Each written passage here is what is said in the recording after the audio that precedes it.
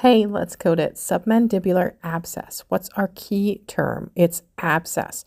So we're going to go to our alphabetic index under A for abscess. We can search through it here in the ebook, abscess, and it will bring us to our abscess codes.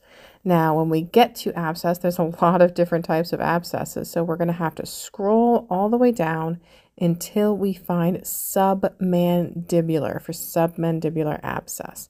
So when we get all the way down to our submandibular, it's going to tell us code K12.2. So we go to that in the tabular list and verify that we don't need any additional codes. And it says right here, this is the code for submandibular abscess, so K12.2.